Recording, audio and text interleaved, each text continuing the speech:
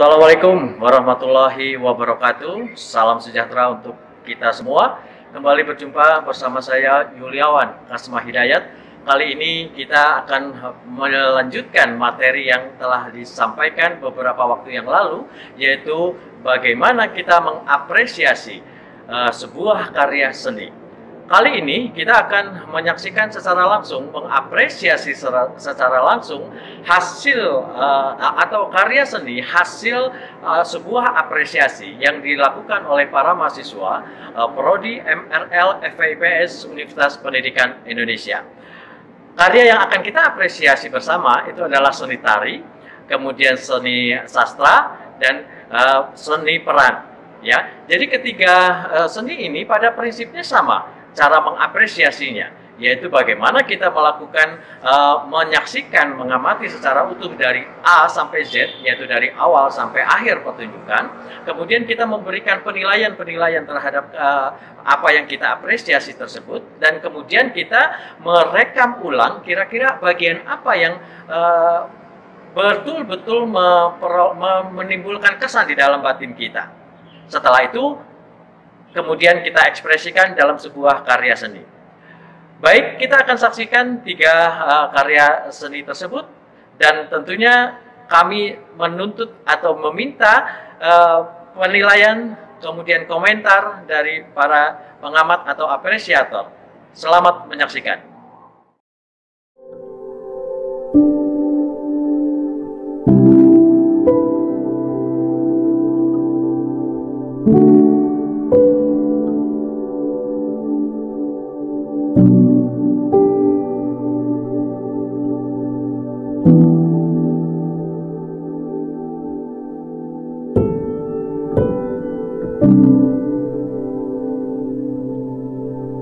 Gusmus,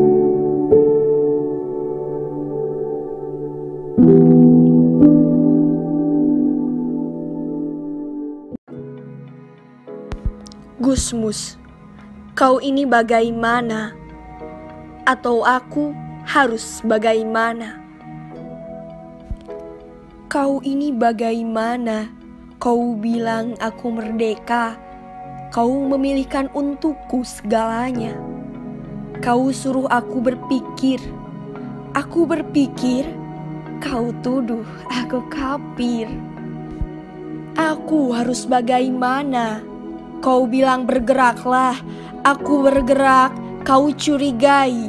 Kau bilang jangan banyak tingkah, aku diam saja, kau waspadai. Kau ini bagaimana? Kau suruh aku memegang prinsip. Aku memegang prinsip. Kau tuduh aku kaku. Kau suruh aku toleran. Aku toleran Kau bilang aku plin-plan. Aku harus bagaimana? Kau suruh aku maju. Aku mau maju, kau selimbung kakiku. Kau suruh aku bekerja. Aku bekerja, kau ganggu aku. Kau ini bagaimana? Kau suruh aku takwa. Khotbah keagamaanmu membuatku sakit jiwa. Kau suruh aku mengikutimu. Langkahmu tak jelas arahnya. Aku harus bagaimana? Aku kau suruh menghormati hukum. Kebijaksanaanmu menyepelekannya. Aku kau suruh berdisiplin. Kau mencontohkan yang lain. Kau ini bagaimana? Kau bilang Tuhan sangat dekat. Kau sendiri memanggil-manggilnya dengan pengeras suara tiap saat. Kau bilang kau suka damai. Kau ajak aku setiap hari bertikai. Aku harus bagaimana? Aku kau suruh membangun. Aku membangun, kau merusakkannya. Aku kau suruh menabung. Aku menabung, kau menghabiskannya. Kau ini bagaimana? Kau suruh aku menggarap sawah. Sawahku kau tanami rumah-rumah. Kau bilang aku harus punya rumah.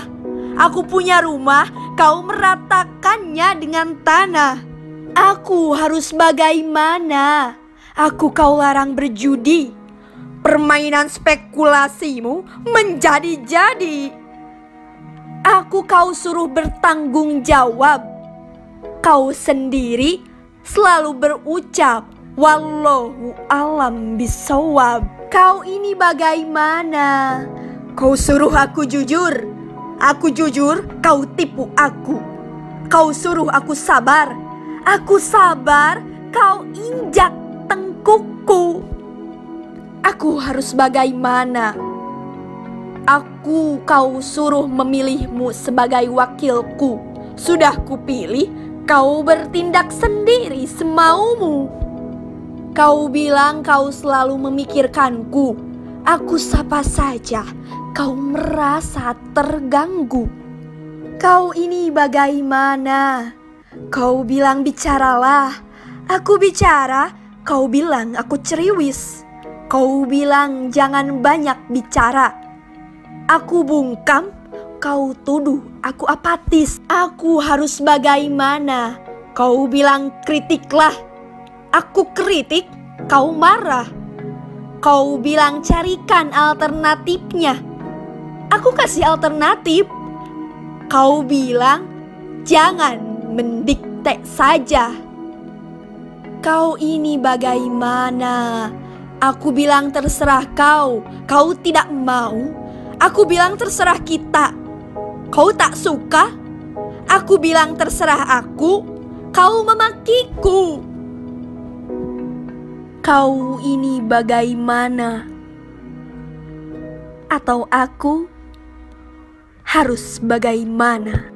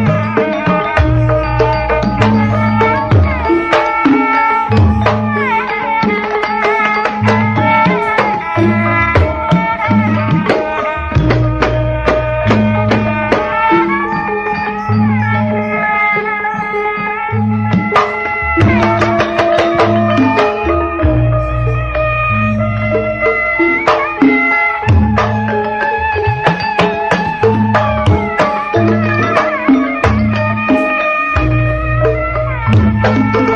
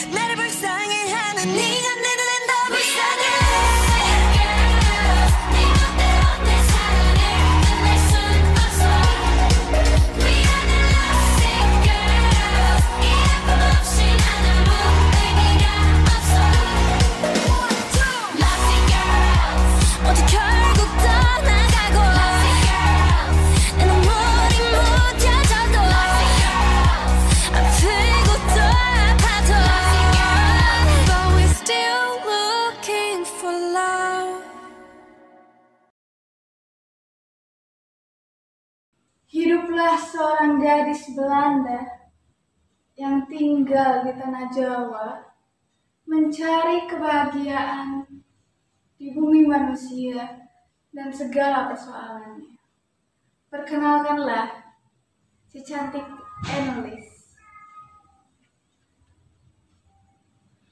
Mama, Mama, kemari Mama.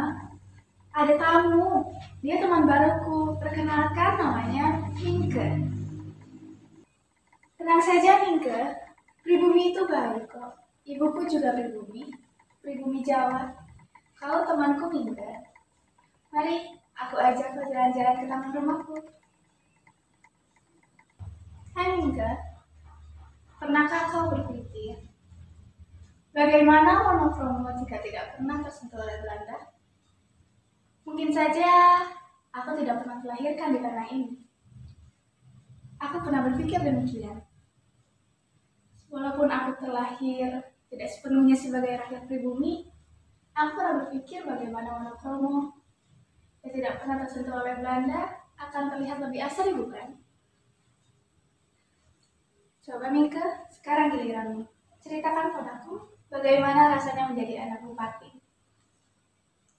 Aku baru saja kembali dari taman di depan rumah, Ma. Ada sesuatu yang ingin aku ceritakan.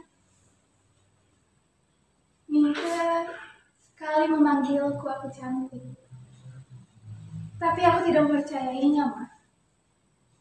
Apakah masyarakat pribumi seperti itu?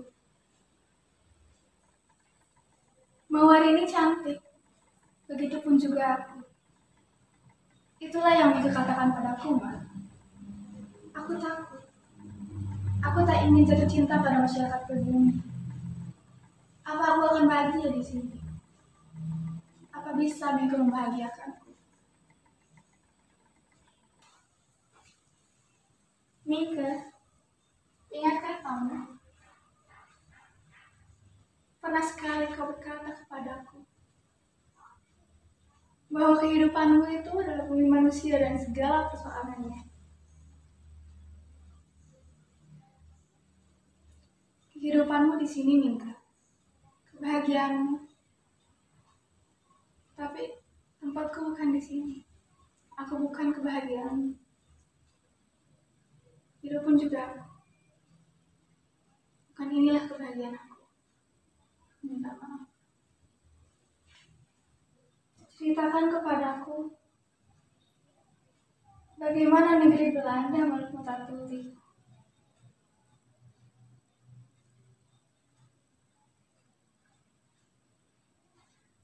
Aku lebih menyukai ombak, busa dan gelombang daripada Nederland.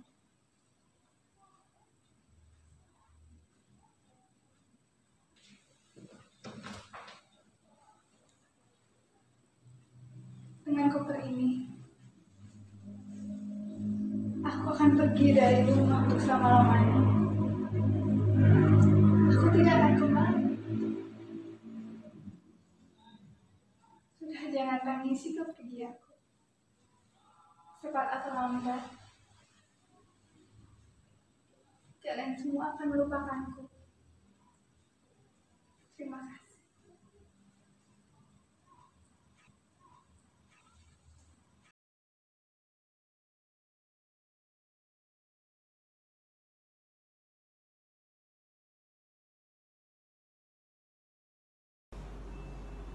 pada ulang tahun hari kemerdekaan.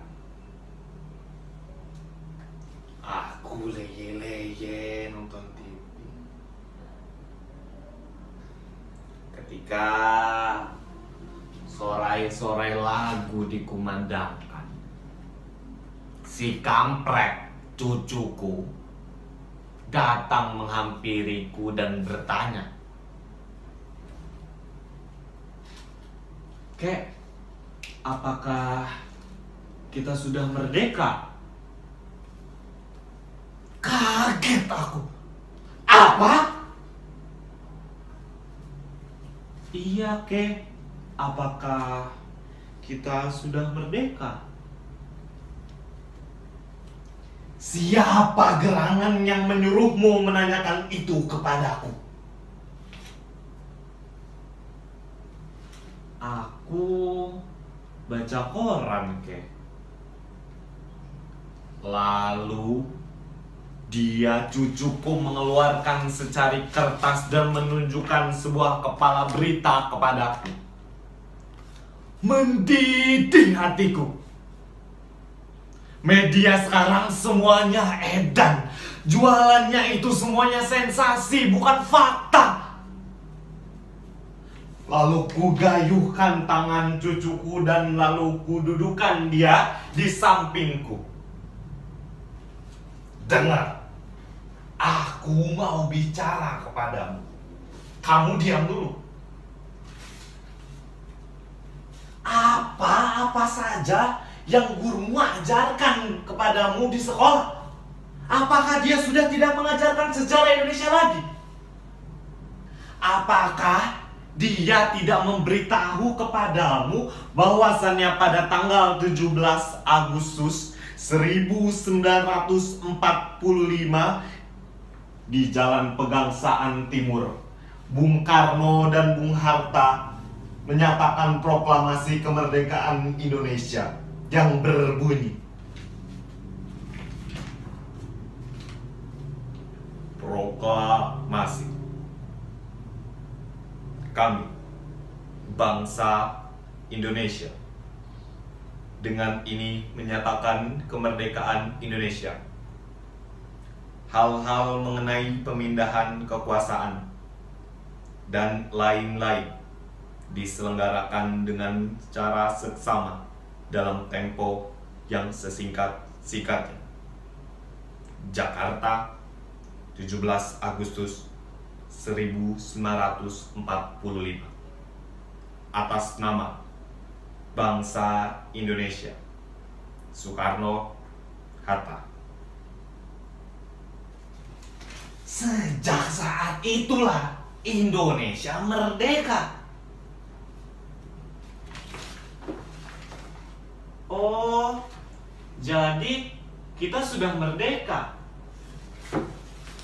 Oh ya sudah jelas. Tapi kek, kalau kita sudah merdeka, kenapa kita masih miskin?